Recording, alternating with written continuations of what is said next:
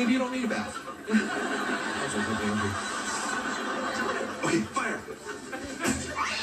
Whose cat is that? It's God's cat now.